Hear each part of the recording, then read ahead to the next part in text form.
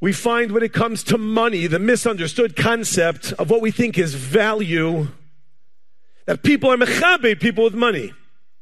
Someone who has money, we're mechabed them. We asked them to come up and give talks and ask them to go and do this and do the other. We were mechabed them like crazy. They come in, we stand up, we open the door for them. And I'm not saying that you shouldn't be mechabed someone with money. But I am saying we should be mechabed everybody. And why is it that we mechabed those people? I'm just going to tell you what somebody said in the crowd when I once asked. I asked a crowd, similar to what's in today. It looks to be around four or five thousand people.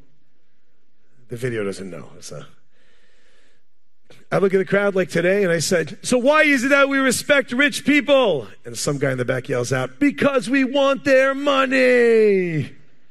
I said, I was going to say because they're honorable, because they've done so much and because we want their money.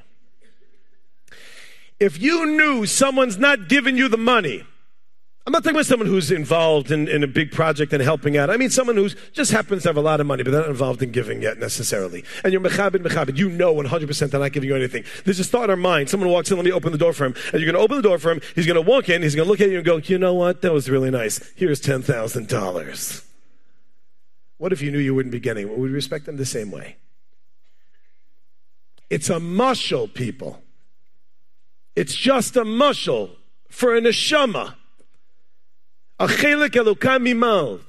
To recognize that every yid is a neshama. And to understand that every yid is connected in some way, as far as he may be, is connected to HaKadosh Baruch Hu.